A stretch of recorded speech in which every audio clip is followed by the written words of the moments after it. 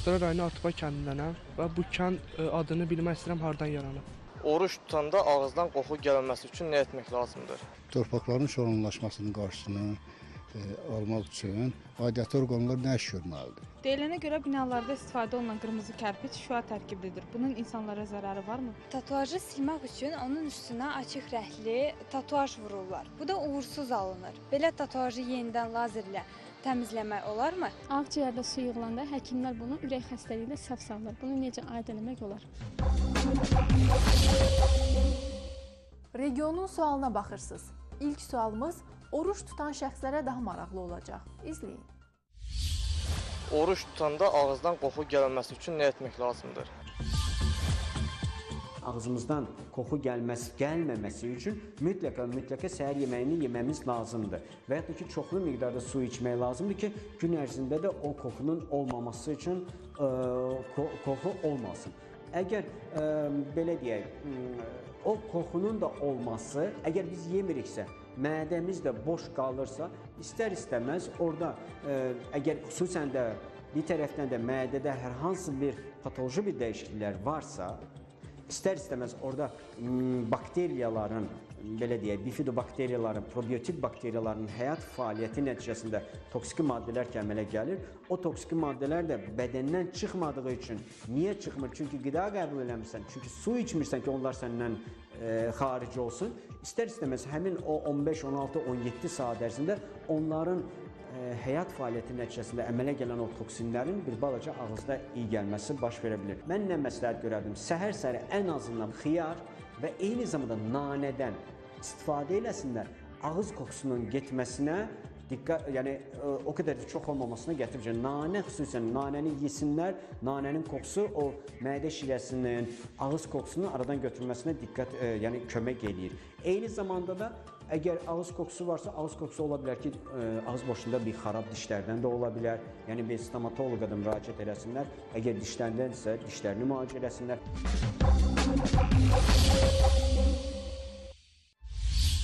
Astara rayonu Atıba kəndindənəm və bu kənd ə, adını bilmək istəyirəm hardan yaranıb. Artupa, artupa. Bu art oba deməkdir. Art oba. Art yəni arxa, arxa. Oba da ki, oba yaşayış məkani. Art oba e, təkcə Astarada deyil, e, Azərbaycanda başqa yerlərdə də var, belə toxum var. Gəlib artupa variantına düşür. Görürsüz, bu da bu da bir misaldır. Artupa. Art oba mənası.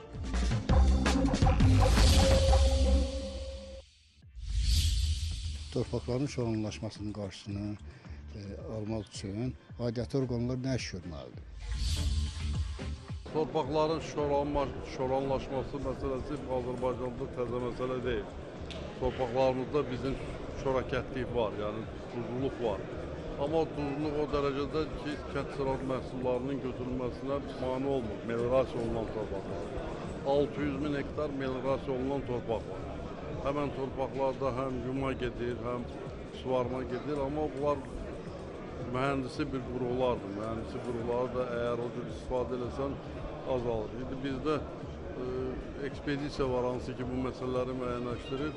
Bu son illərdə şoranlaşma artıma getmir, azalmaya gedir. Çünki sudan səmərəli istifadə edəndə, suyun o, o torpaqların şoranlaşmasına gətirən çıxan səviyyədə eləməyəndə torpaqlarda münbitlik artır. Dəqiqə əslində münbitlik artır. Amma gələcəkdə şoran torpaqlarımız var, kompleks minerasiya getməlidir və suvarma e, dövriyyəsinə daxil olmalıdır. O tədbirlər davam eləyəcəkdir hökumətin proqrammasında.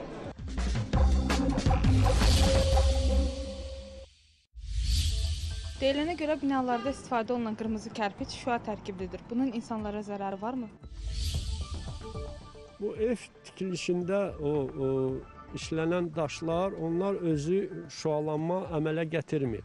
Ancaq ə, bu hansı ki daş kərxanasında onlar işlənir, orada ona nəzarət mütləq olunmalıdır. Orada zəhərlənmədən söhbət getmir, amma mənfi təsir mənfi təsirdən söhbət gedə bilər. Onu mütləq bu tikintidə olan nəzarət yoxlanmalıdır.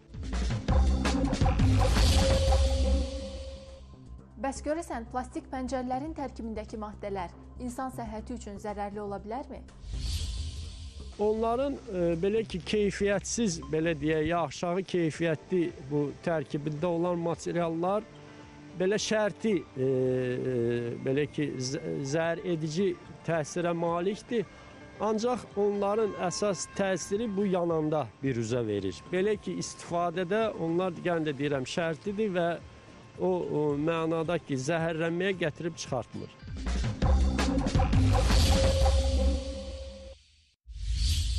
Tatuajı silmək üçün onun üstünə açıq rəngli tatuaj vururlar. Bu da uğursuz alınır. Belə tatuajı yenidən lazerlə təmizləmək olarmı? Bədii tatuajlar olur, hansılar ki, tatuirovşiklar tərəfindən bir bədii əsər kimi, şəkil kimi çəkilir bədəndə və onun tərkibində müxtəlif rənglər olur. Və o hər rəngləri silərək biz o lazer şüasının müəyyən bir ə, dalğa uzunluğu var. Hansısa rəngə uyğun olan dalğanı biz onu nəzərə alırıq. Ə, və ə, onu qeyd etmək istəyirəm ki, bej rəngdə, açıq rəngdə, açıq bej rəngdə, qəhvəyi rəngdə olan pigmentlər daha çətin silinir. Ə, Bəzən xanımlarımız, beylərimiz ə, cavanlıq dövründə hansısa bir tatuaj eləyib, napolka qoyub, ona indi bir ə, hansı əskərlik illərinin ya həbsxanada olunan bir illəri yadigarı kimi illər keçdikcə bu tatu buna problemlər başlayır verməyə və ondan azad olmaq istəyir. Azad olmağın bir yolunu gedir kimisi müraciət edir, ona deyirlər problem yoxdur. Bu göy qara tatunun üstünə biz sənə bej rəngdə bir pigment vurarıq ki, o itsin onu etməyə qəti razı olmuyor. Çünki e, pigment itməyəcək, qara pigment itməyəcək, amma onun üstündən bir qat da üstəlik olaraq e, peribivka deyirik biz ona. Hansısa açıq rəngdə pigment döyülsə, onu itirmək məqsədi ilə siz nə o altdakı tatunu itirməyəcəksiniz, nə də gələcəkdə o altdakı tatuya hansısa bir lazer ə, ə, cihazı vasitəsilə ə, aparmaq ə, bir prosedurunu eləyə bilməyəcəksiniz. Çünki ə, beş pigment maneçilik törədir lazer ə, şüasına gedib beş pigmenti keçərək o tünd pigmentə çatsın və onu parçalasın. Ona görə piribivkalar məsləhət deyil.